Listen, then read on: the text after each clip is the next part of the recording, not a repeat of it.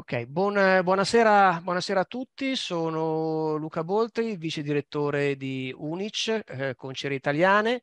Eh, benvenuti a questo webinar eh, dedicato alla eh, transizione energetica.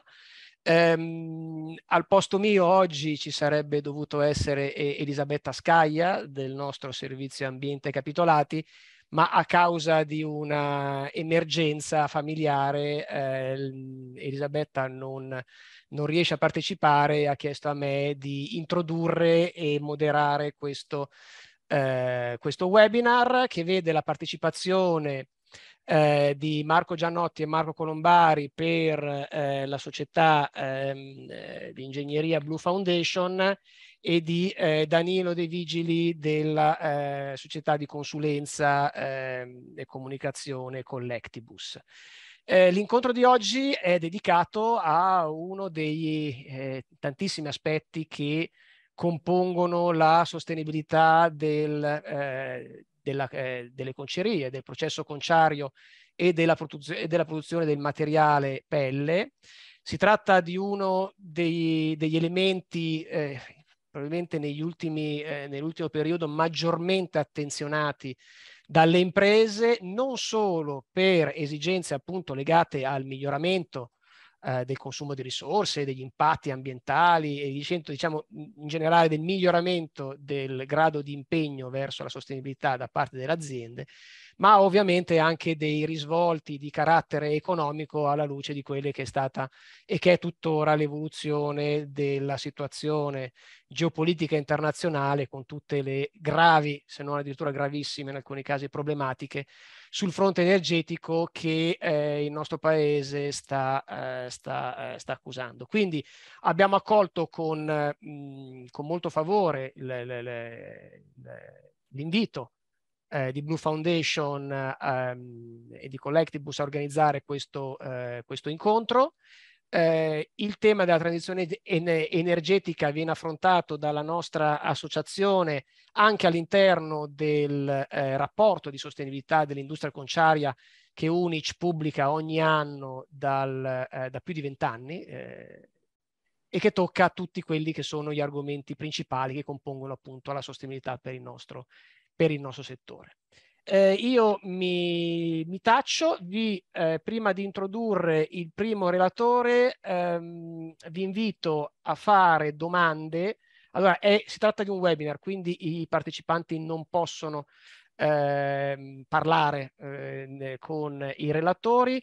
È possibile porre domande tramite l'apposita funzione eh, in basso a sinistra dello schermo di Zoom, domande e risposte. Eh, cercheremo di rispondere alle domande in tempo reale, in maniera tale da essere, tra virgolette, caldi sugli argomenti che vengono, eh, che vengono, ehm, che vengono affrontati. E, e, niente, vi auguro un buon webinar. Eh, il primo intervento è di eh, Danilo De Vigili di Collectibus.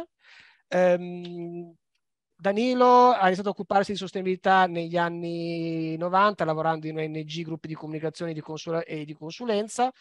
Ha fondato Collectivus per dare un nuovo impulso alla sostenibilità, integrando la strategia tra le soluzioni agili digitali e ci parlerà di come creare valore sostenibile per, affrontare, per rafforzare la resilienza aziendale.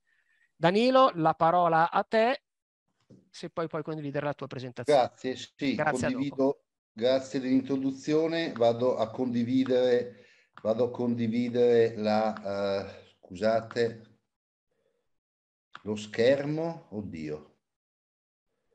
Dunque, vado a condividere lo schermo, eh, cioè meglio la presentazione. Si dovrebbe vedere, ok, si vede a pagina intera, mi confermate? Sì, sì si vede. Ecco, io vi, vi, la mia è un'introduzione a quello che diranno poi gli amici Marco e Marco, che è un tema più specifico, eh, ed è un'introduzione che ehm, porta una riflessione, diciamo, su, su, cosa bisogna intendere per valore, perché come diceva chi mi ha presentato, io mi occupo di questi temi veramente da tanti anni, quindi ho visto un po' cambiare anche l'approccio alla sostenibilità e ehm, soprattutto quello che sta capitando in questi giorni, eh, in questi mesi o meglio, cioè questa eh, esposizione a, all'aumento dei costi energetici, mi convince del fatto che forse in questi anni, ovviamente non sto parlando del vostro settore con cui ho avuto anche piacere di collaborare, ma in generale forse eh, non abbiamo compreso fino in fondo cosa significa gestire con un approccio sostenibile le imprese. E provo a spiegarmi con poche parole, ma ehm, in realtà il concetto di valore è un concetto che non, non esiste in natura, no? La, la, l'abbiamo inventato noi. Qui ci sono due dei grandi, diciamo, eh, nemici di due concetti di valore completamente diversi, no? L'economista Keynes, il quale diceva che per creare valore lo Stato deve investire, deve spendere, deve aumentare la domanda e lo vediamo proprio in questi mesi quanta, quanto questa esigenza è di nuovo eh, in campo perché ovviamente di fronte a emergenze come quelle energetiche senza un aiuto eh, di tipo governativo veramente è molto difficile uscirne per chi non ha già pensato alle cose che poi ci racconteranno gli amici Blue Foundation, mentre dall'altra parte c'era Friedrich Hayek, il padre dell'ultraliberismo, il quale diceva oddio lo Stato se ne stia lontano, lasciamo fare al mercato. Eh, oppure ci sono persone, penso ai volontari del Banco Alimentare, per cui ha valore tutto ciò che fa del bene alle persone. Quindi questo concetto di valore è cambiato anche nel corso della storia perché c'è stata un'epoca in cui era di valore possedere la terra, eh, un'epoca in cui il valore era attribuito ai beni preziosi come, come l'oro, l'epoca delle conquiste spagnole, eccetera. Poi il valore è diventato eh, legato soprattutto a, a, alla produzione industriale e oggi, eh, e questa secondo me è una critica che faccio al modello attuale di business, il valore è soprattutto finanziario. È valore ciò che crea eh, valore finanziario. E questo credo ci abbia portato alla miopia di non considerare, come diceva chi mi ha preceduto, eh, alcuni rischi finanziari e geopolitici eh, in quello che stavamo facendo. Io penso che eh, la situazione in cui siamo finiti, cioè dipendere circa più o meno l'80% della nostra energia arriva dal gas, o perché usiamo gas, o perché usiamo direttamente, o perché usiamo gas per fare energia, perché abbiamo guardato solo alla dimensione economica di convenienza di breve periodo, non abbiamo considerato elementi come rischi geopolitici. Eh, quindi forse l'elemento di valore che porta la sostenibilità all'interno dell'economia e del modello di business è che la situazione è complessa e per gestire una situazione complessa bisogna prendere delle decisioni tenendo presenti aspetti economici ma anche di altro tipo. Questo secondo me è l'insegnamento più grande che ho imparato. Quindi so che voi siete molto esperti di sostenibilità, per cui voglio andare, voglio andare veloce su alcuni concetti per lasciare poi lo spazio a chi mi seguirà. Quindi oggi veramente questo, questo, questo triangolo che molto spesso vediamo rappresentato, chiediamoci quanto è vero che è, vero, che, che è messo in, in, pratica nelle nostre aziende, perché io penso che forse in molti casi l'abbiamo fatto di facciata e, e, e, e la sostenibilità economica è stata messa sempre al primo posto ed è stata forse una valutazione miope perché eh, abbiamo preso delle decisioni non considerando gli scenari e i rischi e le opportunità che arrivavano invece dalle valutazioni ambientali e sociali. Il caso dell'energia eh, lo, è, lo, è, palese e non vorrei che succedesse la stessa cosa per l'acqua. Quindi ehm, perché lo dobbiamo fare questo? Ma i motivi sono tanti. Eh, ce lo chiede il pianeta perché ovviamente poi i temi di riscaldamento globale, eccetera, si traducono in impatti eh, impatti sulla nostra vita di cittadini o di lavoratori. Il pianeta camperà benissimo eh, anche con 10 gradi in più. Il problema dei 10 gradi in più o dei 3, dei 4 ce l'avremo noi. Ce l'avremo noi perché non avremo acqua, non avremo, eh, avremo ondate di calore, eccetera, eccetera. Quindi, e questo eh, oggi, ehm, io infatti io credo che oggi più che occuparci, ci dobbiamo occupare delle soluzioni, ma ci dobbiamo anche occupare di mitigare gli impatti, perché gli impatti arriveranno. Quindi non so, ehm, questo significa provare a ragionare in che modo i nostri modelli di business potranno prosperare all'interno di un contesto in cui magari ci sarà scarsità d'acqua, scarsità di certe materie prime, eccetera, eccetera.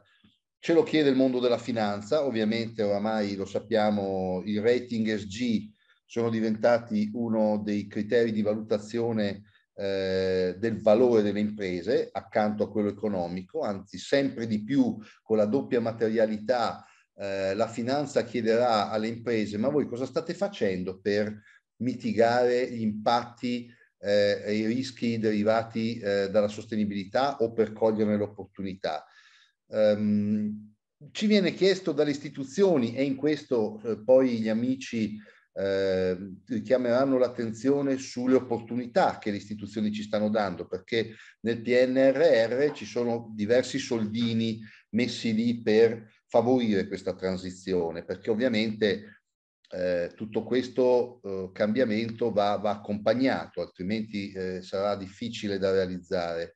Lo chiedono i consumatori, eh, questo è sempre più vero in un mondo che cerca prodotti diciamo di qualità in cui la qualità faccia rima anche con sostenibilità.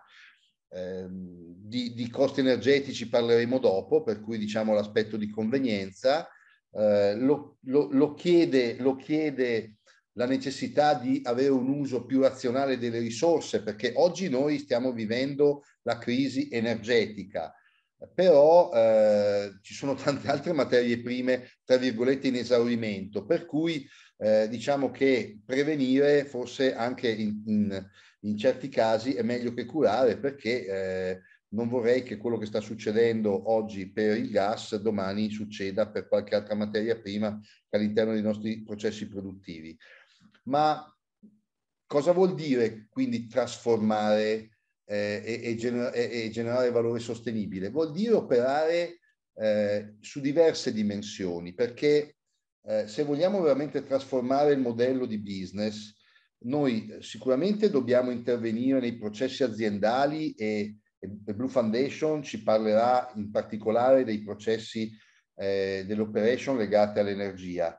Ma eh, trasformare il modello di business significa anche ripensare la nostra governance. Eh, spesso si sente sempre più parlare di stakeholder governance, che non vuol dire estromettere la proprietà dal capitale, ma vuol dire che sempre di più altri stakeholder devono avere voce in capitolo nella nostra governance, perché altrimenti senza questo tipo di alleanza eh, sarà molto difficile creare valore.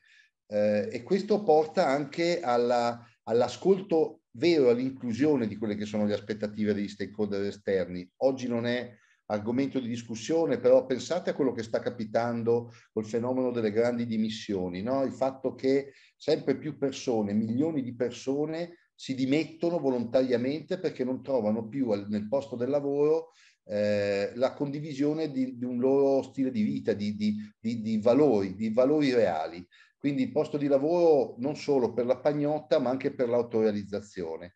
E poi soprattutto bisogna misurare gli impatti. Io all'inizio ho fatto vedere gli SDGs, eh, vanno bene gli SDGs, però noi dobbiamo guardare il nostro giardino di casa, perché non vorrei che gli SDGs diventassero un alibi per dire no, guardiamo il mondo, il mondo va bene, ma eh, a parte quelle poche decine di multinazionali le cui operation impattano sul mondo, credo che eh, sia più corretto misurare gli impatti in quel contesto locale, regionale o nazionale in cui invece eh, le nostre attività generano veramente cambiamento. E in fondo io penso, in fondo a questa riflessione, che ehm, siamo arrivati un po' a un bivio, eh, nel senso che eh, la sostenibilità di cui oggi si sente parlare ogni 3x2, stamattina sono stato anche intervistato da RTL, mai nella mia vita mi sarei immaginato che qualcuno mi facesse un'intervista sulla sostenibilità, eh, però abbiamo due strade o la prendiamo veramente come un'opportunità per ripensare il nostro modo di pensare il business, oppure la possiamo interpretare dal punto di vista biecamente di compliance e alla fine, come diceva il gatto pardo, facciamo finta di cambiare tutto perché non si cambia niente. E questo credo che, almeno dal mio punto di vista, sarebbe un, un grosso errore perché il mondo sta andando invece in un'altra direzione. Quindi eh, io chiudo facendo un augurio a, a, voi che lavorate in questo settore. Eh, io penso che per, per l'Italia, che è un paese povero di materie prime, che è riuscita, e, e di energia in primo luogo, che è riuscita grazie al suo ingegno a fare quello che ha fatto, perché siamo la settima, ottava potenza industriale, il secondo paese manifatturiero d'Europa, la sostenibilità è veramente l'opportunità di affrancarsi, di liberarsi dalla dipendenza di fonti fossili, ne parleranno gli amici di Blue Foundation, e di materie prime. Però per farlo dobbiamo essere visionari, immaginare un futuro che oggi non c'è, coraggiosi perché il cambiamento ha molti nemici e quindi bisogna avere il coraggio eh, di, diciamo, di, di, uscire dal conformismo e, e, e, di essere tenaci, perché ovviamente non sempre eh, le ciambelle riescono col buco alla, alla, prima volta. Quindi il mio augurio è, è, è che, che, nella vostra professione riusciate a, a mettere in pratica questi, questi modesti consigli. Vi ringrazio per l'attenzione e lascio la parola agli amici di Blue Foundation. Grazie, grazie mille Danilo. Passo adesso la parola eh, a Marco Colombari di, di Blue Foundation eh, che ci parlerà del, degli aspetti energetici nel, nel settore conciario. Eh, Marco è ingegnere energetico a Blue Foundation ed è specializzato nell'individuazione di nuove soluzioni e opportunità per, combina per combinare la decarbonizzazione con lo sviluppo economico delle PMI. Marco, a te la parola. Grazie. Grazie, grazie mille. Luca, mi confermate che mi sentite mi... e vedete lo schermo intero? Assolutamente sì. Perfetto, grazie Luca e grazie Danilo per l'introduzione. Buon pomeriggio a tutti di nuovo per chi ci fosse all'inizio e per chi anche si è collegato dopo. Come introduceva Danilo, noi ci eh, concentreremo in, uh, da questo momento in poi sulla transizione energetica con un focus chiaramente sul, sul settore conciario. Passando diciamo alla, alla scaletta, possiamo, passiamo da un, un, minimo di contesto che ha già fatto per la gran parte Danilo e su cui non spenderò ulteriore tempo, ci caleremo nel quali sono gli usi energetici tipici di una conceria, Marco Gianotti, eh, mio collega, eh, vi parlerà invece di quali sono alcuni casi studio interessanti e interventi di efficienza e autoproduzione che sono particolarmente promettenti per il vostro settore. E eh, vedremo una, una, serie di opportunità di finanziamento che sono aperte in questo momento. Vediamo qui eh, un altro triangolo similare a quello che abbiamo visto di prima. Eh, in questo caso vogliamo spiegarvi che quando parliamo di transizione energetica parliamo di un approccio che è integrale, un approccio che va a ridurre eh, in primis i consumi energetici ma va anche a eh, ridurre eh, quelle che sono le, le, emissioni di CO2. Le due cose tipicamente possono andare di pari passo, non è detto che eh, una riduzione della CO2 sia per forza un aumento dei costi, si possono avere riduzioni di costi e riduzione della CO2 allo stesso tempo, bisogna avere il mix ottimo di interventi da fare parlare diciamo tra di loro. Tutto ciò eh, non è solo al fine dell'ambiente e al fine del risparmio ben gradito di soldi, soprattutto in questo momento, ma eh, permette anche eh, di eh, aumentare la cosiddetta resilienza aziendale, resistenza diciamo ai, ai fattori esterni, capacità di adattarsi dell'azienda. Per la nostra esperienza eh, che eh, viene sia diciamo da large corporate ma eh, si è anche calata più recentemente nell'ambito PMI i primi ad aver affrontato le tematiche di transizione energetica, proprio per questa serie di motivi e le contingenze di questi giorni, eh, si stanno eh, trovando con un certo vantaggio competitivo. Ho finito diciamo, il momento introduttivo e ci caliamo subito in uh, un contesto che spero a voi familiare con, con questo rendering 3D di una conceria in cui andremo a parlare eh, brevemente dei vettori, degli usi energetici eh, che, che la caratterizzano. Abbiamo in primo luogo l'elettricità. l'elettricità eh, di cui dopo vedremo qual è il, il tipico uso percentuale all'interno di, di, una conceria tipo, diciamo, che può essere, diciamo, implicata, eh, utilizzata sia per usi di processo sia per usi cosiddetti, chiamiamoli, ausiliari.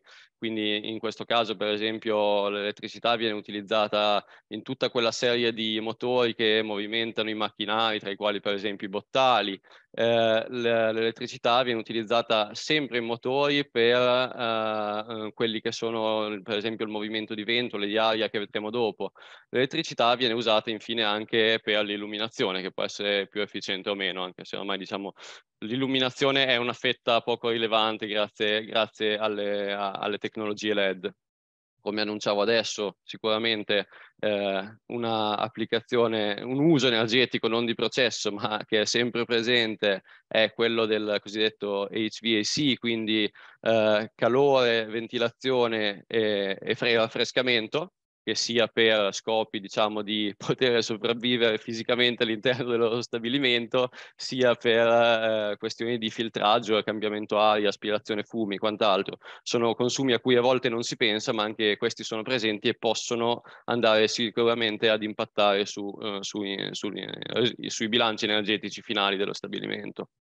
Acqua calda vettore assolutamente preponderante, eh, tant'è che diciamo, la, eh, le concerie eh, eh usano grandi quantità di acqua calda acqua calda non ad altissima temperatura tipicamente, ma in grandi quantità, quindi rappresenta sicuramente una fonte, un vettore energetico eh, tipicamente ottenibile tramite gas naturale, ma non solo, può ottenere anche tramite elettricità, ehm, che è assolutamente di, di, rilievo e su cui sarà importante andare a concentrarsi di cui Marco vi parlerà nelle successive slide. Abbiamo anche usi di vapore, per esempio nel, nei processi di eh, asciugatura delle, delle, pelli, può essere utilizzato vapore per scaldare l'aria o anche nei processi cosiddetti di, di condizionatura. E, ehm, abbiamo anche l'aria compressa, l'aria compressa che può venire utilizzata per esempio, mi viene in mente, nella, eh, nella, nella spruzzatura delle vernici. Eh, l'aria compressa è un vettore diciamo energetico invisibile a cui si tende magari a, a non fare caso ma eh, se pensiamo che eh, l'efficienza per produrre l'aria compressa è di circa il 10%, quindi vuol dire che se io butto dentro 100 di elettricità per farla, 90 lo butto e solo 10 lo ottengo, capiamo subito quanto sia importante andare a vedere che non ci siano perdite e che sia usata efficacemente, efficientemente. E diciamo che fisiologicamente per quanto riguarda l'aria compressa in, nelle reti si ha un 10-20% di perdite, se abbiamo delle reti datate e non si è mai fatta una ricerca perdite, si può arrivare anche al 40-50% e va a impattare sui costi, questo è certo. Andiamo a vedere ora eh, la ripartizione di questi usi energetici che abbiamo appena introdotto nella conceria. Eh, abbiamo un consumo che secondo um, un report europeo del, sul settore conciario si attesta a circa 20,5 kWh a metro quadro di pelle prodotta. Non stiamo parlando dei consumi di un'acciaieria, ma sono comunque consumi non trascurabili. Eh, prendete diciamo, i dati che vedete in questa slide eh, con le dovute precauzioni perché sono ovviamente dati generali basati su audit regressi e basati su report generici, quindi potete tranquillamente non trovarvi in questo caso, per esempio questo è un caso in cui non c'è un cogeneratore e c'è una caldaia che va a fare gli usi termici mentre l'elettricità fa tutti gli altri usi di cui parlavo prima. Tipicamente però in questo caso vediamo che il gas utilizzato per produrre calore per il processo principalmente, ma non solo, può essere anche acqua calda sanitaria, può essere eh, diciamo HVAC, ehm, va a eh, costituire la gran parte dell'uso. Eh, costitu- più o meno si ripartisce in, in maniera equilibrata tra vapore ed acqua calda, per esempio. E per quanto riguarda l'elettricità, invece abbiamo, come abbiamo anche già visto prima, una, una moltiplicità di usi. L'illuminazione, ci si pensa subito, è uno dei primi eh, eh, interventi che eh, si vanno a proporre perché è facile e immediato, ma ormai diciamo mm, conta poco, soprattutto in un contesto come quello della conceria. Si ha poi una ripartizione eh, bene o male, eh, diciamo, eh, equa e variante a seconda della situazione tra motori elettrici per, utilizzati per tutte le applicazioni di movimentazione, eh, di lavoro meccanico, diciamo, di cui parlavamo prima, aria compressa, quindi stiamo andando a creare un altro vettore energetico, o eh, diciamo trattamento aria, trattamento e condizionamento aria. Abbiamo parlato dei problemi, degli usi, andiamo a vedere una brevissima introduzione su quelle che possono essere invece le soluzioni. Anzitutto nella, per la transizione energetica e quindi diciamo risparmio costi, risparmio emissioni e com- comunicabilità diciamo di, di, di, dal punto di vista green. Eh, il primo risparmio è sempre quello della riduzione. Quindi eh, riduzione vuol dire efficienza energetica, per esempio, ottimizzazione. Ottimizzazione vuol dire non andare a capofitto su un singolo intervento perché eh, ci piace o perché l'abbiamo visto o letto da qualche parte. Significa fare parlare tra loro tutte le diverse soluzioni implementabili caso per caso nella maniera ottimale. Questo si fa tramite modellistica, ottimizzazione, diciamo, eh, software e quant'altro. Sempre parlando di efficienza energetica, si possono andare a individuare i recuperi di calore eh, da eh, fluidi di processo o, eh, per, tipicamente o, o, da fumi, per esempio, che escono da forni. Eh, parlando eh, di eh, rinnovabili, si può valutare il fotovoltaico, per esempio il solare termico, chi osa di più può parlare anche di eolico, tipicamente non è il caso in Italia. E si parla comunque di soluzioni di autoproduzione che in questo periodo ci permettono tipicamente di staccarci dalle fluttuazioni, dai rischi del, della, della commodity energetica. E poi parliamo anche di soluzioni più avanzate, diciamo che mh, sono eh, proprio avveniristiche ancora in questo momento, nonostante se ne parli molto, sta tornando fuori l'idrogeno, sta, venendo, ehm, sta riscuotendo interesse anche le, l'ambito della cattura del CO2 e perché no nell'ambito dei biocombustibili, eh, soprattutto per chi ha scarti organici, che potrebbe essere il caso in parte delle concerie, eh, si parla anche di biogas. Il concetto, come abbiamo scritto sotto, riassunto in inglese, come piace dire a loro, there is not a single silver bullet technology, quindi non abbiamo un proiettile unico che risolve tutto, ma bisogna fare parlare queste cose tra loro. Ora Marco, eh, come annunciavo, eh, ci parlerà di alcuni di questi interventi che abbiamo ritenuto possano essere più promettenti proprio per l'ambito conciario. Eh, condividi tu Marco? Vai, allora tolgo io la condivisione, pausa tecnica. allora, eh, interrompe condivisione.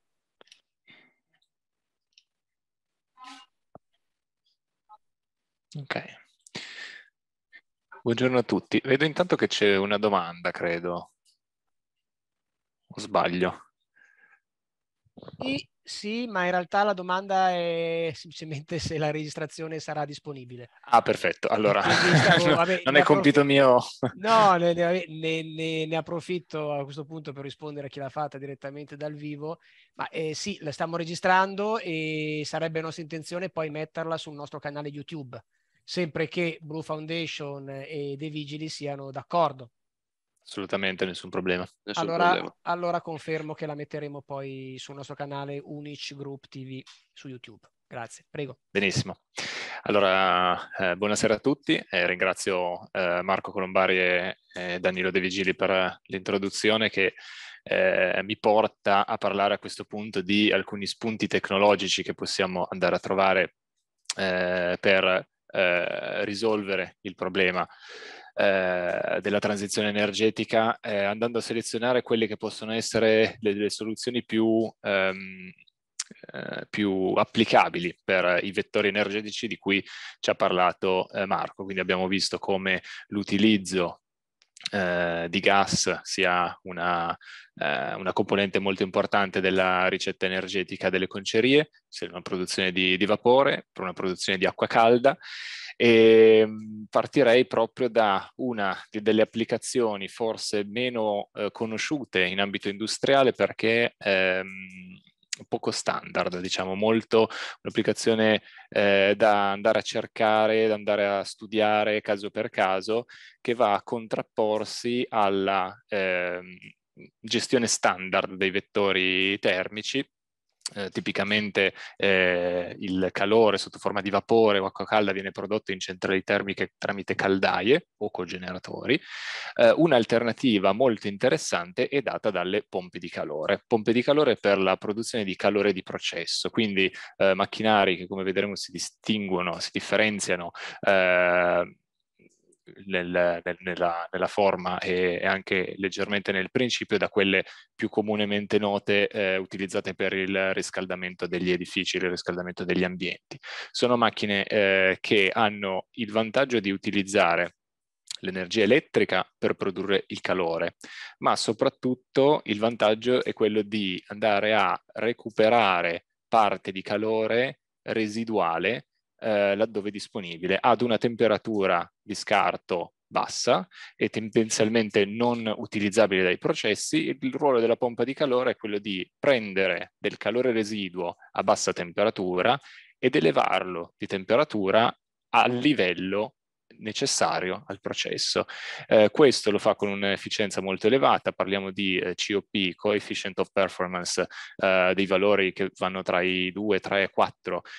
cosa vuol dire questo numero? Vuol dire che spendendo un kilowatt di potenza elettrica si ottengono 3 kW di potenza termica e questo è il vero vantaggio che le differenze rispetto ad altre apparecchiature elettriche come per esempio le caldaie elettriche perché anche se l'elettricità costa più cara rispetto al gas, con un'efficienza così elevata riusciamo a essere competitivi rispetto alla soluzione tradizionale. Eh, questa è una soluzione, poi in alto a destra vedremo per queste tecnologie due indicatori, uno che ci indica quanto la soluzione ci aiuta nell'indipendenza dalle fonti fossili e quanto ci aiuta nella riduzione dei costi. Eh, vedremo che alcune delle soluzioni saranno più forti sull'una, altre eh, più forti sull'altra. Quando parliamo di pompe di calore, eh, eh, queste sono soluzioni che ci aiutano molto nella eh, riduzione dei consumi di gas eh, un po' meno sulla riduzione dei costi perché come vedremo eh, bisogna trovare il giusto bilancio tra i costi del, dell'equipment, eh, il costo del, dell'energia elettrica che è tutt'altro che trascurabile, eh, però dopo vedremo un, un, caso studio con un business plan e vedremo come anche i tempi di ritorno possano essere interessanti. Eh, applicazione, eh, dicevamo, produzione di acqua calda di processo con un range di temperature che arrivano fino agli 85 gradi tendenzialmente oltre non è impossibile ma diventa difficile. Eh, sorgenti di calore possono essere utilizzate eh, qualunque eh, calore di scarto rigettato dal processo, tipicamente possono essere eh, sistemi di torri evaporative o dissipatori collegati per esempio alle centrali frigorifere eh, o alcuni macchinari sono mm, loro stessi raffreddati con acqua di raffreddamento eh, che possono scaricare poi in ambiente a 30-40 gradi, quello è calore preziosissimo che la pompa di calore può utilizzare per produrre un vettore termico eh, più, ehm, più interessante. Eh, andiamo a vedere come da un punto di vista impiantistico questi eh, macchinari possono andare a interfacciarsi in un, eh, in un sistema esistente. Ehm, qui vedremo tre configurazioni possibili. La prima è quella che eh, vede la pompa di calore recuperare del calore di scarto da una centrale eh, compressori, eh, compressori raffreddati ad acqua, quindi qua vedete, diciamo, in tutte le prossime slide vedrete in alto a destra la centrale termica con le caldaie che producono acqua a 80 gradi e ritorno a 75 gradi. In basso a sinistra abbiamo una centrale frigo che produce acqua a 7 gradi con ritorno a 9 gradi e tutti questi gruppi frigo sono collegati a delle eh, torri evaporative per il raffreddamento e quindi per lo scarico verso l'ambiente esterno del calore. Qui in basso abbiamo due compressori aria eh, uno dei due raffreddato ad acqua. Questo compressore è raffreddato ad acqua con eh, acqua che esce a 50 gradi e torna a 25 e quindi è una temperatura troppo bassa per essere utilizzata per produrre eh, questo calore a 80 gradi. La pompa di calore cosa fa? Prende questo, eh, questo calore a 50 gradi dal cosiddetto lato evaporatore e lo trasferisce agli 80 gradi lato condensatore. Eh, questa è una configurazione che um, garantisce un'ottima efficienza del sistema, eh, ottimizza anche la centrale compressori qualora ci fosse una centrale compressori che può essere raffreddata d'acqua. Eh, abbiamo riscontrato in, in, questo caso, stiamo parlando di un caso applicato a, in un'industria alimentare eh, che eh, non è eh, diciamo un, eh, un, settore così distante da quello delle concerie dal punto di vista degli utilizzi energetici. Abbiamo molto vapore, molta acqua calda, aria compressa, eccetera. Ehm, il problema è che i compressori hanno un utilizzo molto intermittente e quindi la messa a disposizione di questo calore di scarto è molto intermittente di conseguenza. Uh, una configurazione invece più eh, continuativa più sicura è quella di andare a interfacciare la pompa di calore sul lato eh, quindi dove va ad attingere dal calore a bassa temperatura, dai sistemi dissipativi di una centrale frigorifera. Qui la temperatura è un po' più bassa, parliamo di 30 gradi più o meno, eh, il che fa abbassare un po' l'efficienza della, della, pompa di calore, ma consente eh, un utilizzo più continuativo. Eh, questo è, dalla nostra esperienza, eh, un, un po' eh, l'applicazione la, più, più semplice eh, anche perché tendenzialmente di calore a questa temperatura, quindi una temperatura poco superiore a quella dell'ambiente, ma costante tutto l'anno, quindi immaginatevi anche d'inverno avere a disposizione 30 gradi, la pompa di calore mantiene un'efficienza costante durante tutto l'anno. E nella nostra esperienza è la configurazione che ehm, è un po' più applicabile rispetto alla precedente. Un'ultima configurazione invece molto interessante è eh, quella che vede la pompa di calore lavorare nel cosiddetto doppio effetto caldo-freddo. Quindi se da un lato stiamo producendo acqua calda a 80 gradi, contemporaneamente l'acqua, eh, eh, la pompa di calore sull'altro lato sta producendo un'acqua fredda a eh, 7-8 gradi. Eh, questo che cosa comporta? Comporta che la stessa macchina un, abbia un doppio effetto utile, ci contribuisce alla produzione di acqua fredda da un lato e la produzione di acqua calda dall'altro. Le controindicazioni in questo caso sono molte, e, no, diciamo, sono due principalmente. E la prima è che eh, ci deve essere contemporaneità di esigenza di raffrescamento e riscaldamento. Questo non sempre è possibile, eh, perché la, la, domanda di raffrescamento eh, cresce molto nei, nei periodi estivi, eh, al contrario la domanda di riscaldamento cresce molto nei periodi invernali. Quindi questa applicazione è possibile solo qualora sia necessario calore di processo e acqua fredda di processo con un valore più o meno costante durante l'anno.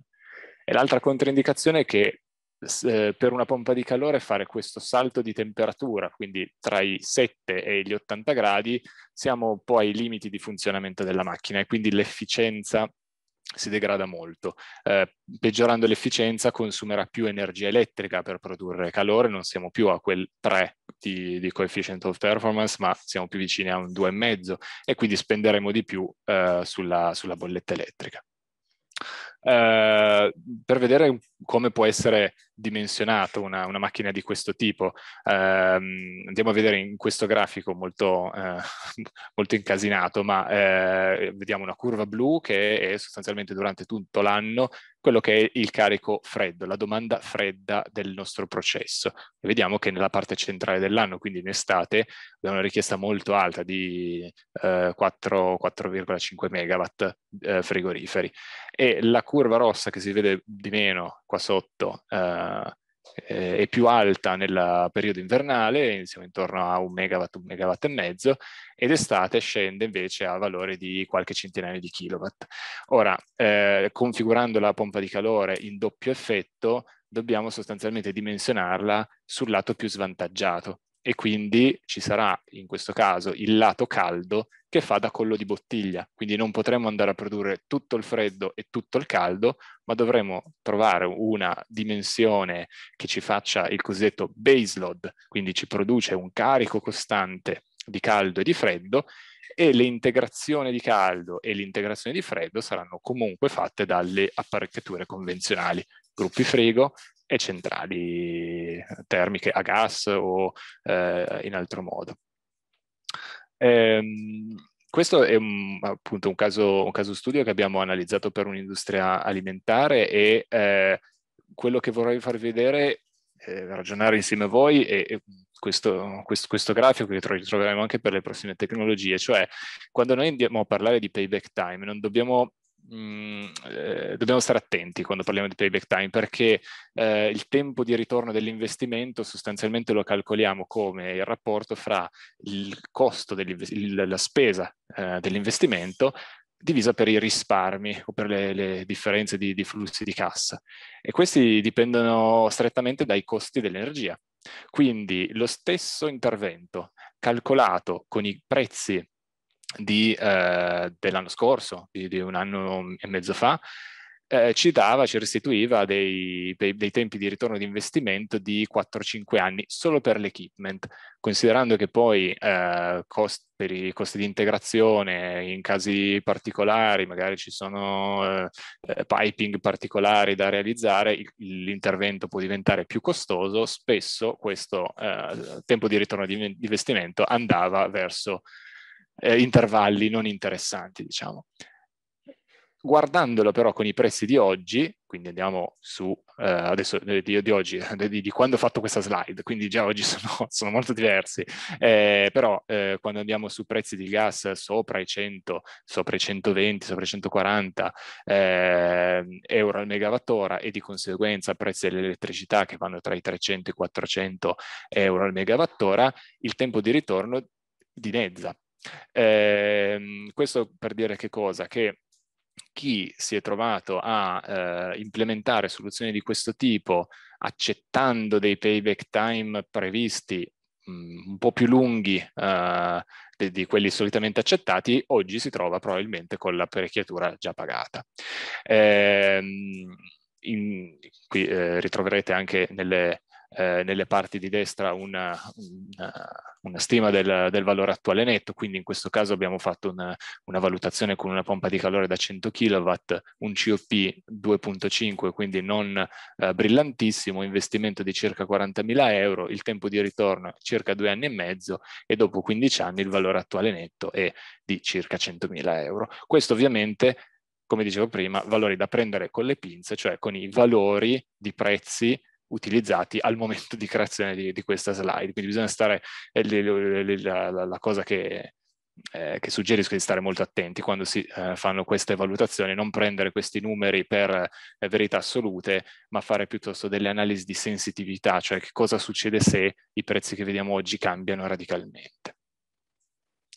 Ehm, Passando a una, un argomento invece diametralmente opposto, ma che va a combinarsi bene con la soluzione che abbiamo appena visto, andiamo a parlare di eh, autoproduzione di energia elettrica.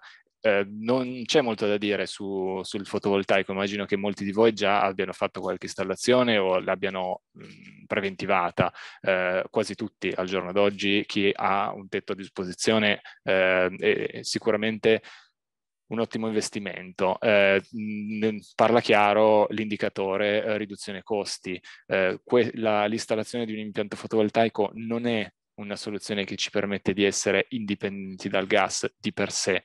Lo è se lo accoppiamo, per esempio, alla soluzione di pompa di calore vista prima, cioè eh, andiamo a spostare il carico termico dal gas all'elettrico e quell'elettricità in parte ce la produciamo con il fotovoltaico. Eh, però è un'ottima soluzione di eh, riduzione costi perché ehm, la eh, qualunque kilowattora autoprodotta è un kilowattora che non consumiamo dalla rete, quindi non solo è a costo zero sulla eh, materia energia, ma evitiamo anche gli oneri di trasporto eh, e le tasse.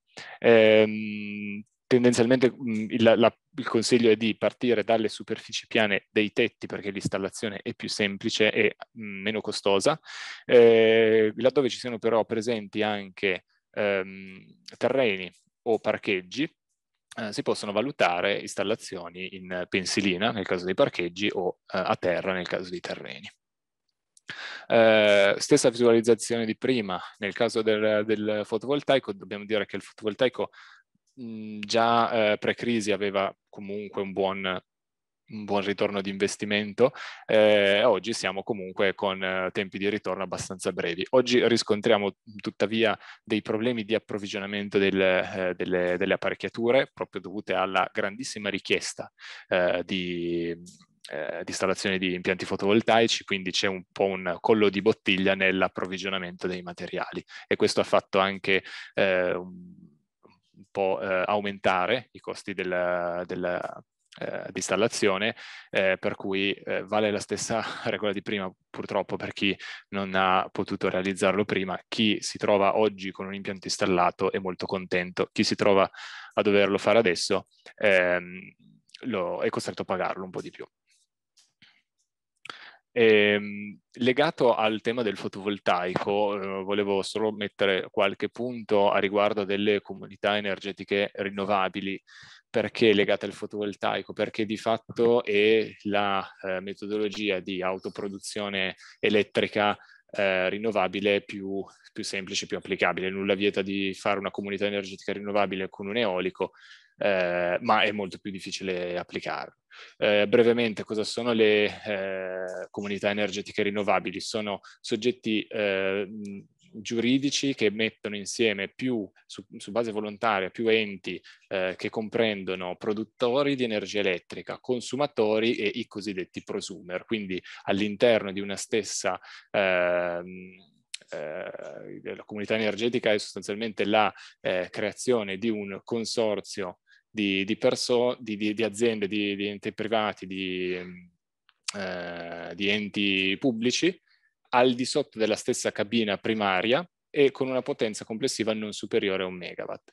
I partecipanti alla comunità energetica possono eh, ricevere i vantaggi di eh, che cosa? Innanzitutto l'autoconsumo di energia elettrica prodotta all'interno della comunità, non per forza sul tetto del, del, del proprio edificio, ma eh, eh, magari sul, sul tetto di un altro componente della comunità e inoltre il, eh, la ricezione di un, di un, premio incentivante.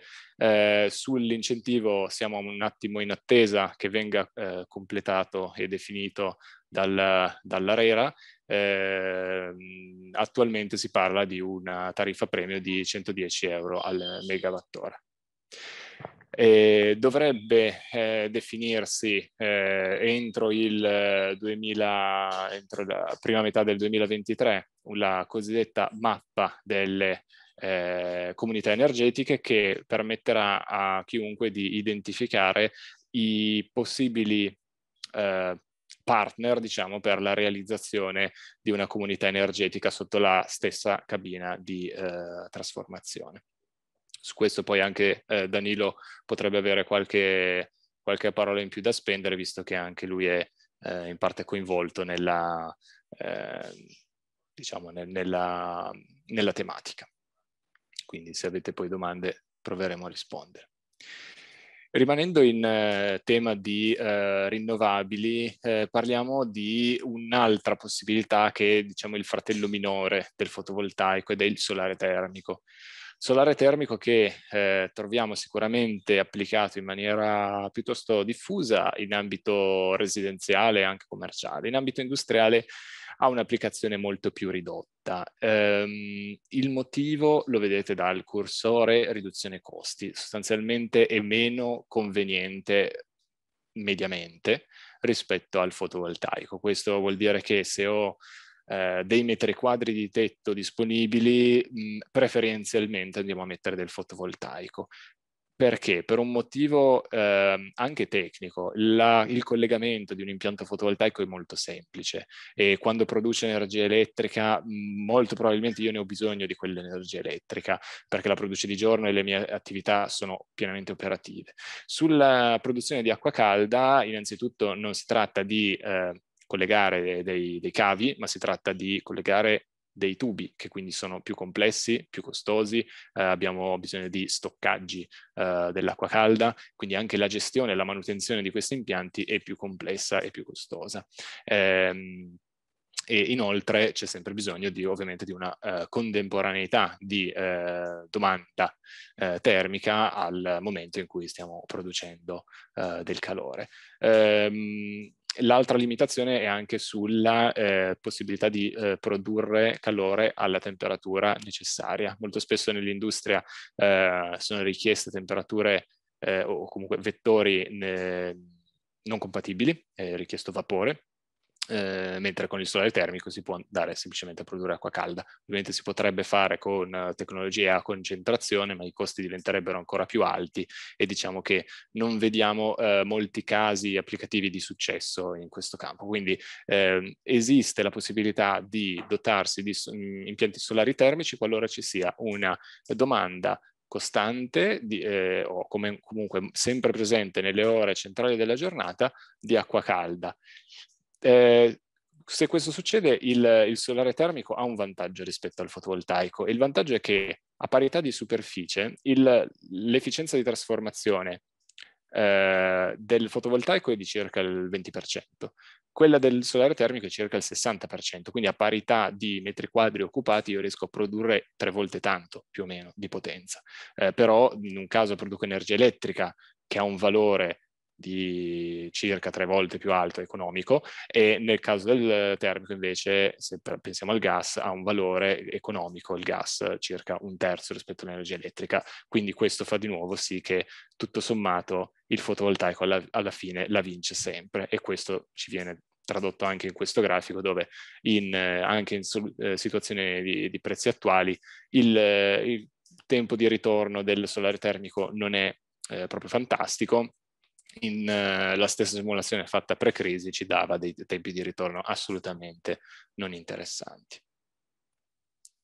Uh, passerei adesso a una, uh, e, e, qui siamo verso la fine delle, delle soluzioni, eh, cambiamo argomento e andiamo nell'ambito dei eh, cosiddetti eh, biocombustibili, ovvero combustibili di origine biologica, che quindi ehm, quando andiamo a, eh, provo a anticipare una domanda che potrebbe arrivare, perché eh, la biomassa o il, eh, il biogas e il biometano sono considerati eh, biocombustibili e quindi neutrali al cambiamento climatico. Quando brucio la biomassa comunque sto pro- producendo della CO2 che va in atmosfera. Eh, è vero, questo è verissimo, ma eh, sono considerati neutrali al ciclo della CO2 perché la, eh, il carbonio presente nel legno che sto bruciando è stato sequestrato durante la vita della pianta dall'atmosfera e quindi quando io brucio il legno la CO2 torna in atmosfera torna semplicemente dove era già prima e quindi non va ad alterare l'equilibrio di CO2 eh, dell'atmosfera quindi non contribuisce al riscaldamento globale.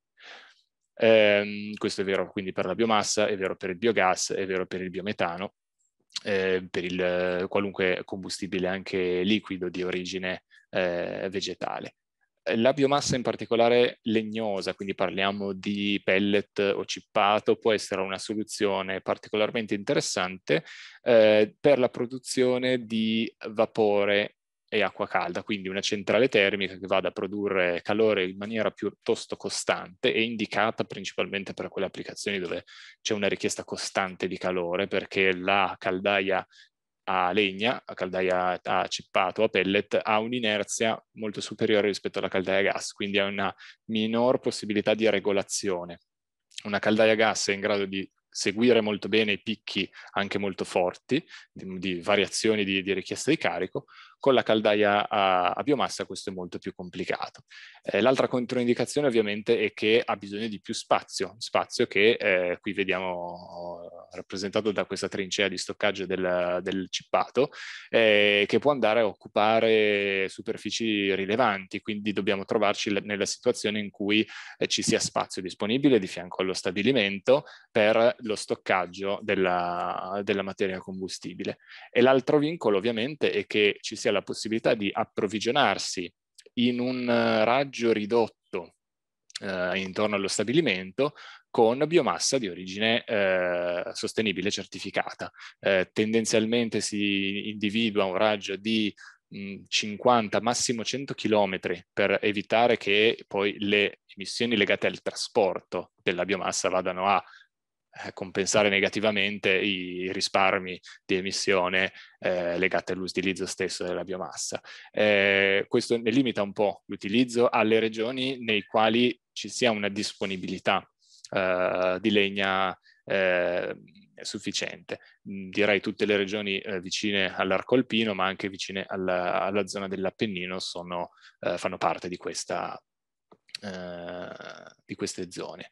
Eh, la legna eh, di origine eh, sostenibile certificata, le due certificazioni tipicamente sono la FSC e la PEFC, eh, riconosciute internazionalmente, garantiscono che eh, la filiera sia sostenibile da tutto il punto di vista, quindi non solo per le, la, le emissioni di CO2, ma anche per eh, il corretto utilizzo del suolo e il corretto utilizzo delle, delle foreste.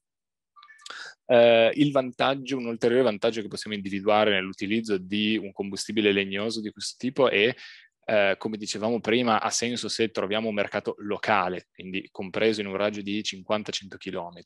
Questo vuol dire che tendenzialmente se stabiliamo un mercato locale è meno influenzato dalle fluttuazioni di mercati globali e totalmente fuori dal nostro controllo. Non è del tutto vero perché quando cresce il prezzo del gas e dell'elettricità cresce anche il prezzo di tutti gli altri combustibili perché ovviamente aumenta la domanda di combustibili alternativi, ma eh, diciamo che l'onda arriva un po' doppio, un po' più smorzata. Eh, quindi e, inoltre possiamo considerarla una manovra di diversificazione, quindi tendenzialmente non vediamo situazioni in cui il 100% dell'energia è eh, fornita dalla biomassa, ma la biomassa fornisce mh, di solito il, ancora una volta il cosiddetto baseload eh, e eh, l'integrazione può essere ancora fatta con gas naturale. Quindi la diversificazione del, delle fonti di ingresso è un altro dei preziosi consigli che ehm, che ci, ten- ci teniamo a, a, indicare. Mm, più volte ci siamo trovati a, a studiare piani di transizione energetica per, per, grandi multinazionali dove uno dei KPI, uno dei, dei, degli indicatori eh, del, che volevano essere inclusi nel, nello studio di questi piani non erano solo riduzione costi e riduzione emissioni, ma eh, aumento della sicurezza nella, nell'approvvigionamento energetico e questo era spesso dato dalla diversificazione dei flussi in ingresso. Eh, anche in questo caso eh, ci troviamo in una situazione in cui il cambiamento dei, dei prezzi eh, energetici, dei costi energetici ha portato a un cambiamento radicale di quello che è il, considerato il tempo di ritorno dell'investimento. Eh,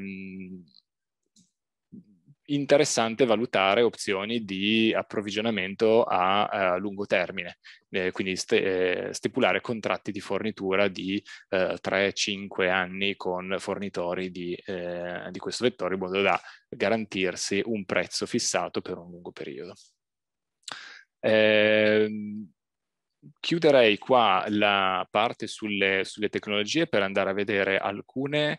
Eh, Aggiungerei solo, scusami Marco, la, sì. la parte sulla, sulla conduzione delle, delle, centrali biomassa. Diciamo le, il personale necessario è equivalente a quello per, che è necessario per la conduzione di una caldaia a gas, quindi diciamo a seconda della taglia sono necessari diversi patentini, tipicamente si ha solo una, una, formazione specializzata dall'installatore nel momento in cui diciamo, la, la, la, caldaia viene installata, poi per quanto riguarda e anche per quanto riguarda la manutenzione, ma per la conduzione ordinaria diciamo, vale come per una caldaia normale, solo questa precisazione. Esatto. Esattamente, per quanto riguarda la centrale termica sì, ci sono appunto delle implicazioni in più eh, che riguardano la gestione del, degli stoccaggi, ma eh, su queste taglie diciamo sono sempre semi-automatizzati, quindi c'è un po' di manodopera in più richiesta e un po' di manutenzione in più, ma eh, assolutamente gestibile dal normale conduttore degli impianti termici. E prima di passare alle opportunità, non abbiamo, eh, o meglio, l'abbiamo citato più volte, ne abbiamo parlato prima Marco, ne, ne, ne, ho, ne, ho, parlato prima brevemente io, anche il biogas o eh, biometano sono un'opportunità che potrebbe essere rilevante per le concerie. Sappiamo che eh, ci sono già alcuni progetti in ballo, eh, forse alcuni dei presenti sono anche coinvolti, ovviamente eh, questo va in, nella direzione anche della valorizzazione degli scarti di produzione, quindi qualora eh, ci fossero delle, eh, degli scarti di produzione, de, delle, mm, per esempio nelle, eh, de, degli, degli, sfridi di lavorazione o il, eh, come si chiama Marco, il carniccio, giusto? Eh, che quindi è materia organica eh, che può essere sottoposta a processi di digestione anaerobica, questi possono andare a produrre eh, biogas che può essere utilizzato in loco in, uh, tramite eh, caldaie o uh, motori a combustione interna per la produzione di calore e energia elettrica o addirittura essere trasformati in, in biometano per l'iniezione in rete e ricevere così ehm, incentivi per la produzione di gas rinnovabile. Uh, se non ci sono domande sul... Visto, ce n'era una in chat prima, non so, è scomparsa. Non so se era la stessa... Luca. Era sul fotovoltaico, mi sembra. Sul... Uh... Luca, sei riuscito tu a vedere la domanda? Sì, la domanda è di, è di Elisabetta, che nel frattempo è riuscita a collegarsi, anche se in condizioni un po', un po precarie. E la domanda è, è, se il peso degli impianti fotovoltaici a tetto implica una ristrutturazione degli elementi portanti del capannone sottostante.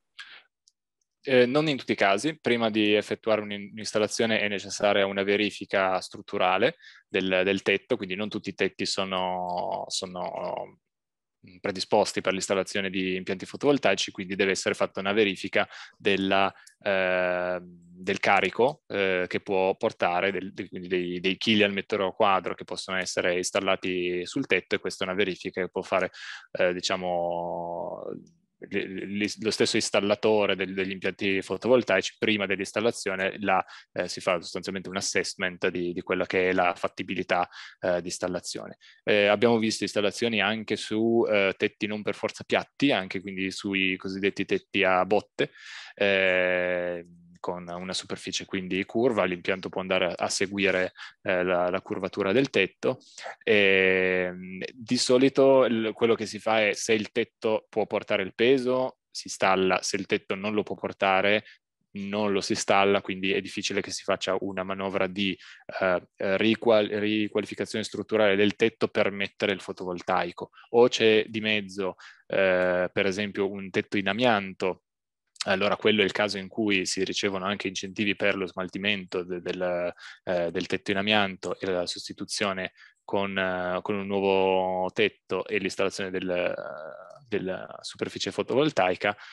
Quindi se, se ci sono già delle, delle, altre condizioni per il quale eh, il tetto deve essere riqualificato, allora sì, diversamente si cercano delle superfici eh, compatibili e idonee.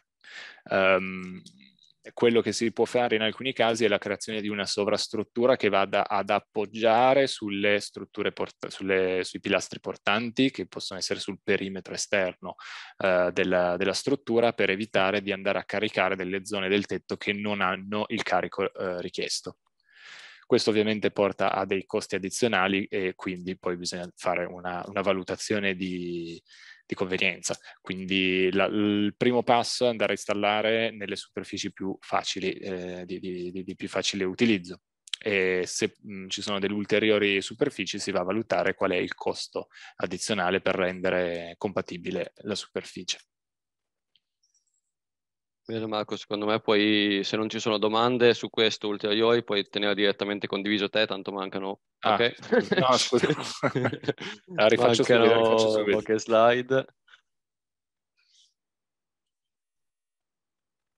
Ok, eh, perfetto. Quindi diciamo che fino ad adesso abbiamo fatto vedere anche quali possono essere le soluzioni che a nostro avviso possono essere quelle più calzanti per il settore conciario. Andiamo a vedere quelle che sono attualmente o a brevissimo le, le opportunità di, eh, disponibili per eh, agevolare questi interventi. Su questo ovviamente in, invito anche Danilo a, diciamo, a, a intervenire se, se, avesse qualcosa da aggiungere eh, nella, nella presentazione di questi tre bandi di finanziamento che andremo a vedere. Eh, questo, il primo che vediamo, è eh, quello un po', se vogliamo, più impegnativo eh, da un punto di vista degli investimenti e degli sforzi necessari per accedervi, ovvero il Ministero dello Sviluppo Economico nell'ottica di perseguire l'obiettivo della trasformazione green dei processi produttivi e garantire la sostenibilità e competitività dell'industria italiana, eh, ha diciamo, introdotto questo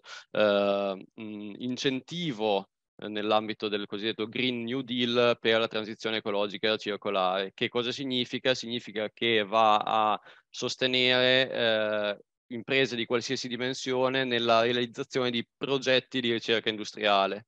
Eh, in particolare questi progetti di ricerca industriale possono essere dedicati a diciamo, varie tematiche, tra cui calzante per il webinar di oggi c'è quello della decarbonizzazione ed economia circolare.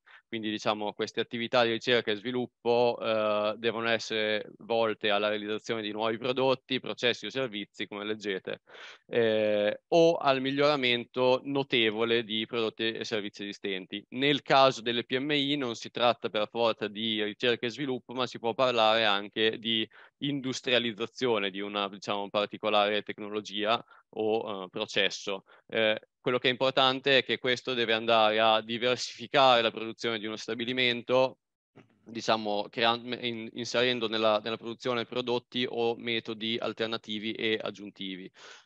Come vedremo in questo bando e per i prossimi, a sinistra abbiamo messo nella slide in evidenza le, diciamo le, i numeri di rilievo del bando, in questo caso vengono coperti eh, il 60% dei, dei, ehm, dei, costi di progetto tramite finanziamenti agevolati e il 15% dei costi di ricerca e sviluppo eh, tramite diciamo, contributi a fondi perduto e vediamo come vi annunciavo che in questo caso le, le, spese ammissibili devono essere di un minimo di 3 milioni di euro, per questo dicevo che è il, il bando diciamo, più impegnativo a cui accendere, ma probabilmente anche interessante, soprattutto forse per le aziende di una dimensione un po' più un po' maggiore. Ecco.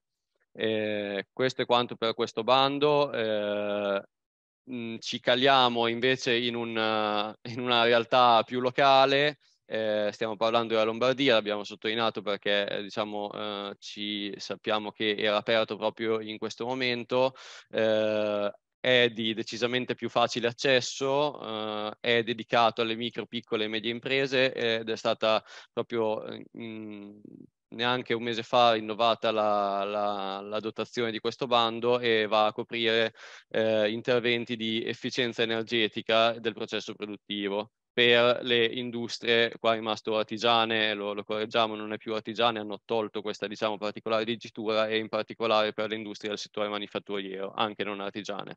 Ehm, cosa finanzia? L'efficientamento energetico col vincolo che eh, l'azienda deve essere, eh, l'impianto eh, oggetto dell'efficientamento deve essere collocato in Lombardia. Eh, sappiamo che alcuni di voi lo sono, quindi l'abbiamo comunque diciamo, inserito tra, uh, tra, tra le, le, proposte interessanti uh, disponibili al momento si, pa- si chiama eh, efficienza energetica, ma diciamo andando a leggere nel bando si rientrano in questo anche eh, interventi di più ampio respiro di transizione energetica come quello delle rinnovabili, dell'autoproduzione, quindi diciamo che efficienza è un nomignolo che gli è stato dato, ma copre anche eh, un uh, range più ampio di interventi. In questo caso è fondo perduto, 50% delle spese ammissibili che in- includono eh, le, le, installazioni necessarie, eventuali software necessari, eventuale consulenza necessaria per l'installazione.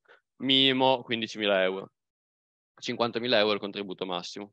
Passiamo all'ultimo, diciamo la perla finale di cui sono convinto, di cui eh, siate già a, a, conoscenza per diciamo, meriti vostri o per merito di, di Unic, eh, che è il bando dedicato alla, eh, alla, mh, agli investimenti innovativi ed ecosostenibili proprio nella filiera conciaria che è stata affetta prima dalla pandemia e ora dal caro, dal caro energia e quindi diciamo il Mise ha per fortuna ben pensato di mettere eh, a disposizione questo strumento che va a coprire il 50% delle spese ammissibili a fondo perduto, quindi diciamo non con finanziamenti ma proprio a fondo perduto, per eh, fare programmi di investimento con elevato contenuto di innovazione e sostenibilità in particolare diciamo, gli scopi dei progetti che le aziende eh, possono eh, andare a finanziare con questo bando sono, eh, devono essere volti alla minimizzazione degli impatti ambientali dei processi produttivi, quindi si può parlare degli interventi di cui eh, parlava Marco prima, e, o anche dell'introduzione di innovazioni di prodotto o processo che talvolta possono andare diciamo di, di, di pari passo con, ehm, con anche la, la, svolta green del processo produttivo diciamo. Come prima Ma... sono prego. Marco scusami eh, intervengo perché sì come hai detto tu ovviamente questa è una misura che è ampiamente a conoscenza del, mm, del, del settore. Abbiamo tra, tra l'altro ha avuto un webinar a inizio settimana proprio allora su, su, questa, su questa misura e io ricordo a tutte le concerie associate eh, che ci stanno ascoltando che abbiamo anche preparato un piccolo vademecum eh, per poter cercare di, di, di, ottenere supporto a tale misura. Marco, approfitto un attimo di questa pausa che ho fatto per farti una domanda che arriva tra l'altro nostra, mh, dal nostro funzionario in Campania, il dottor Ciro Bruno, che dice le concerie scaricano ingenti volumi di acqua di processo con temperature comprese tra i 50 e i 70 gradi. Quali soluzioni tecnologiche, tecnologiche sono previste per sfruttare questi cascami termici con la pompa di calore? Lascio la parola in questo caso a Marco Gianotti che ha più esperienza sul campo di me e quindi sicuramente avrà una, una risposta ottimale. Ok, sta, sta in muto Marco. Ok. Non trovavo il microfono. Ok, eh, allora come dicevamo prima, esatto, pom- uno scarico tra i, tra i 50 e 60, 70 gradi, se ho capito bene. 50-70 gradi, sì. È una temperatura bellissima, una temperatura fantastica perché ehm, allora, il, quello che in questo caso bisogna valutare è eh, come viene generato il calore eh, e come viene utilizzato, in che periodi viene utilizzato, ehm, eh, perché di fatto abbiamo un, uno scarico a 50-70 gradi, vuol dire che quella è una temperatura che non serve più. Eh, bisogna capire se il calore viene somministrato al processo ad una temperatura di 80-85 gradi tramite acqua calda generata da una caldaia, per esempio. Allora questo è un caso in cui la pompa di calore cosa può fare? Può prendere quel calore di scarto a eh, 50-70 gradi e rielevarlo a 80-85 gradi per farlo tornare al processo. Il calore a 70 gradi ormai non ci serve più perché è eh, sotto al, al, livello di temperatura che ci serve, la pompa di calore lo riporta alla temperatura di prima. I punti eh, di attenzione sono eh, la temperatura di somministrazione del calore al processo e la contemporaneità o lo sfasamento temporale, nel senso che se sono processi cosiddetti batch, quindi io ho un carico e uno scarico, bisogna fare in modo che eh, la, lo sfasamento temporale sia compensato con degli stoccaggi di acqua calda che però eh, penso che tra l'altro siano già presenti. Eh, quindi in questo caso la, lo studio di un'applicazione pompa di calore eh, sarebbe molto interessante da, da, da valutare ehm, con, con, molta attenzione, ma sicuramente c'è un potenziale di recupero termico molto molto elevato. Ehm, se, se ci sono domande più approfondite siamo molto interessati a, ad approfondire il tema. Per il momento no. Ok, grazie, possiamo andare avanti. Io in realtà avevo... Aspetta che sia muto. Ok, no, io in realtà diciamo avevo mh, chiuso la presentazione con questa slide su cui non, eh, appunto, no, non mi dilungo ancora siccome siete bene dotti sul tema. E ovviamente adesso con la modalità della chat, eh, per, diciamo per quanto sia immediata, eh, siamo aperti a qualsiasi domanda da parte vostra su tutti i temi coperti e non solo. Perfetto, io quindi invito chi avesse domande commenti o dubbi a farli in questo momento. Io volevo All... aggiungere una precisazione, un, un commento rispetto al, alla prima misura che ha fatto vedere Marco Colombari, la cui entità dai 3 ai 40 milioni di euro ci porta necessariamente nella modalità di costituzione di paternariati. Non era specificato Marco, quindi mi permetto di aggiungerlo perché eh, e questo riporta un po' al ragionamento che facevo io all'inizio. Eh, la sostenibilità per cogliere l'opportunità ci vede anche, ci, ci, ci, ci invita ad aprirci no? a collaborazioni, quindi eh, progetti di innovazione e ricerca di quella dimensione, eh, anche noi lavoriamo per multinazionali, si fanno in partenariato con università, centri di ricerca, fornitori, fornitori di tecnologia, studi di ingegneria, eccetera, e quindi quelle cifre vanno viste su una panel di, di, di, di soggetti dove, come diceva Marco, magari all'industria conciaria aspetta il ruolo dell'industrializzazione no? all'interno di un percorso che può durare anche più, più anni, perché ovviamente passare da, un, da un'idea di ricerca ad, ad, un'industrializzazione richiede molto tempo ed è per questo che vengono dati anche molti soldi. Ottima, ottima precisazione, eh, assolutamente. Io ho un paio di domande qui in, eh, in chat. Allora, la prima è, eh, in merito a quest'ultima domanda che è quella di prima fatta dal collega Bruno, quindi sulle acque in uscita.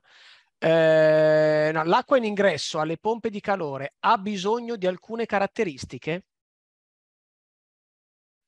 Uh, la stessa caratteristica dell'acqua tecnica delle caldaie, cioè è proprio esattamente lo stesso circuito. La, la pompa di calore è ha il suo eh, circuito chiuso di fluido refrigerante, ma dopodiché il calore viene scambiato in uno scambiatore di calore tipicamente a piastre o eh, a tubi e mantello con l'acqua tecnica del, del circuito eh, dell'acqua, dell'acqua di processo, quindi è lo stesso circuito dell'acqua calda.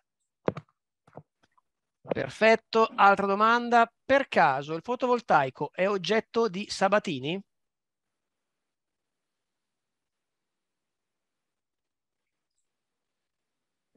Sabatini in questo momento, diciamo, io personalmente mi, mi, mi, coglie impreparato, non so se Danilo sa qualcosa o Marco. Allora, no, no, non mi pare, non mi pare. Eh, in questo momento stanno uscendo delle misure specifiche sul fotovoltaico, come faceva vedere Marco, in alcune regioni ci sono e in alcuni settori. Ehm, si è in attesa di un bando Mise per l'elettrificazione eh, che diciamo adesso governo nuovo dovrebbe mettere.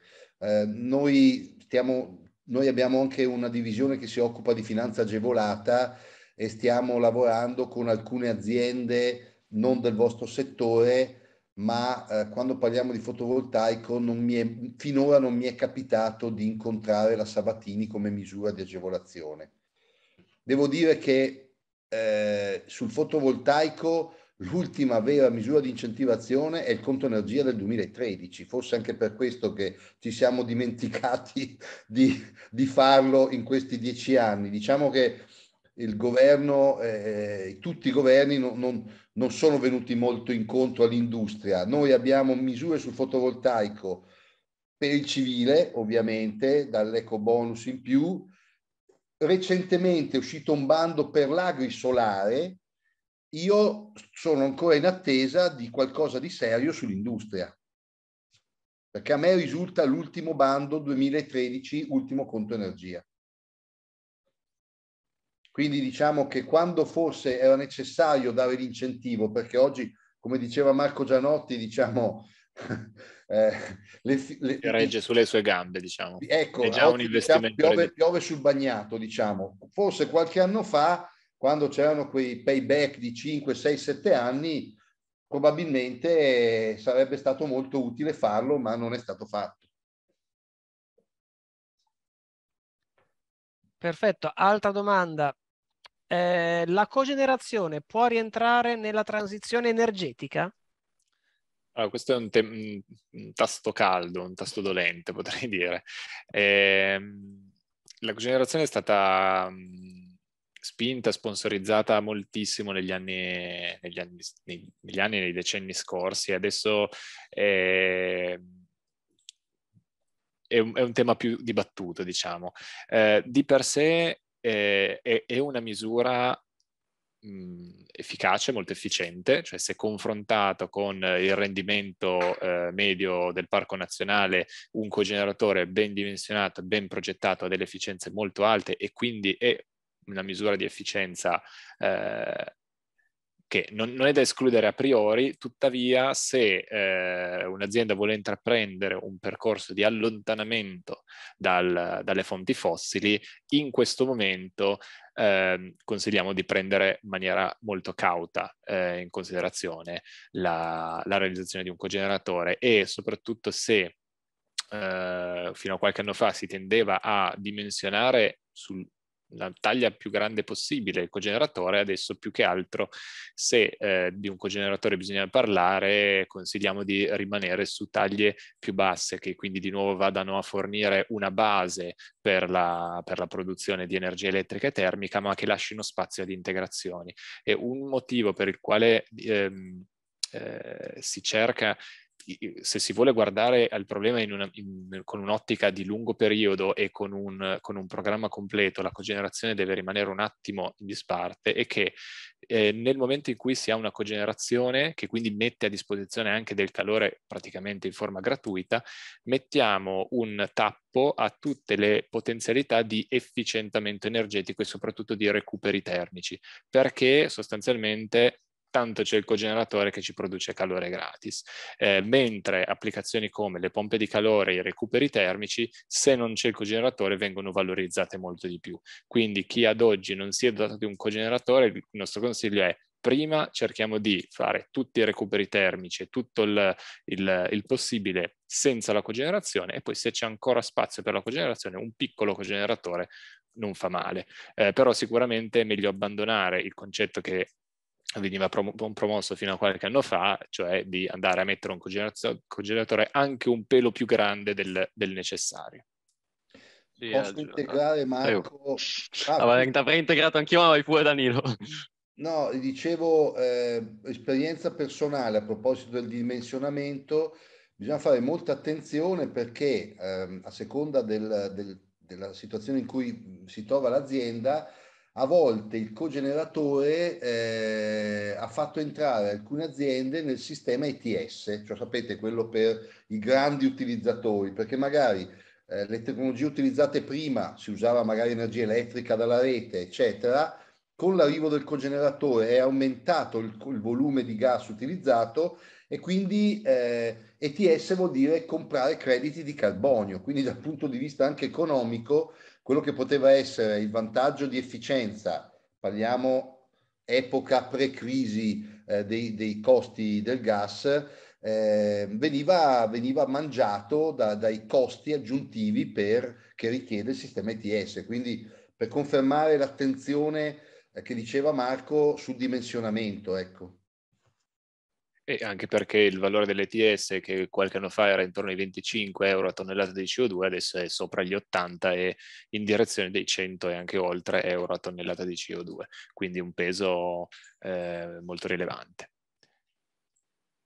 Sì, no, diciamo, volevo solo aggiungere che se, anche se, diciamo, se non sbaglio, la, la, la, cogenerazione ad alta efficienza rientra nella cosiddetta diciamo, tassonomia EU degli interventi eh, etichettati come diciamo sostenibili, efficienti e quant'altro, eh, nell'ottica di appunto quello che dicevamo all'inizio, resilienza e eh, indipendenza dalle fonti fossili, diciamo, togli- mettersi una protezione dai rischi che possono essere quelli delle fluttuazioni del mercato, se non si ha diciamo, la disponibilità per esempio di biogas da un contadino del loco per alimentare il cogeneratore, come dicevamo, diciamo, va preso molto con le pinze, bisogna fare eh, analisi dettagliate e pensarci diciamo, due volte prima di andare su mettere un cogeneratore magari anche sovradimensionato, ecco, solo questo.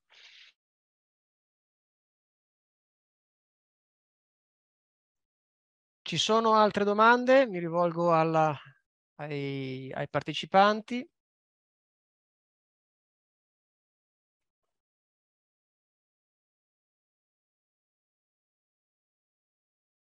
Non ne vedo e di conseguenza se ci sono delle considerazioni finali che volete fare, mi, mi rivolgo ai relatori. Se no, io prego, Marco. No, io direi che ringraziamo tutti per la, per la, partecipazione e qualora ci fossero domande che magari sopraggiungono dopo, qua potete trovare un, un nostro, nostro, riferimento, forse erano presenti anche nella, nella mail eh, d'invito, siamo, siamo disponibili per, per, chiarire anche eh, Danilo di, di Collectibus a qualunque dubbio in merito.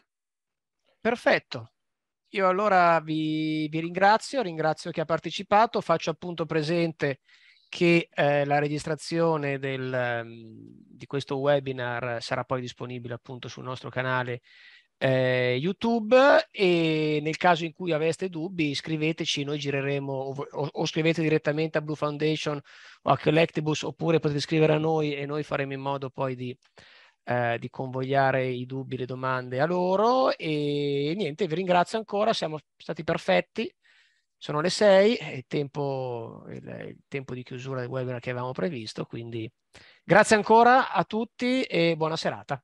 Grazie a tutti. Altrettanto, grazie. Arrivederci. Grazie, arrivederci. Arrivederci a tutti, salve.